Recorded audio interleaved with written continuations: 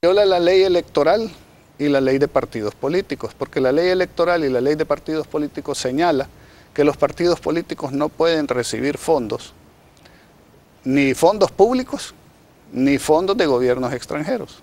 Estos son fondos públicos y son fondos de gobiernos extranjeros. Julio Villagrán respondió a los señalamientos planteados en contra de Alba Petróleos por los representantes de la Cámara de Comercio. ¿Dónde estaban ustedes?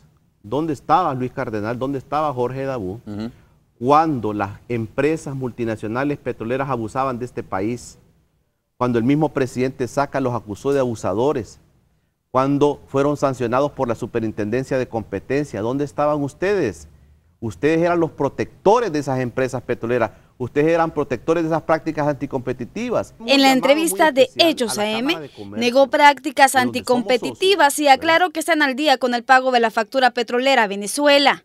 Sí, estos ocho de los de la ANEP y Arena y Paco Flores no digo Norman porque ya, ya generalicé con Paco Flores, si están inquietos por esto, vayan a las instancias. Mostró fotografías en las que aparecen buses de alcaldías gobernadas por el partido Arena, camionetas del candidato presidencial comprando combustible en las gasolineras Alba.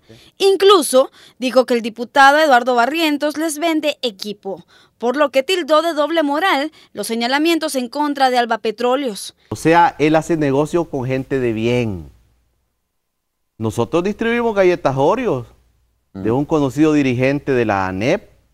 Le vendemos sus galletas. O sea, él les vende a ustedes también. Les vendemos sus galletas en nuestras gasolineras, Jorgito. Te estamos vendiendo tus galletas.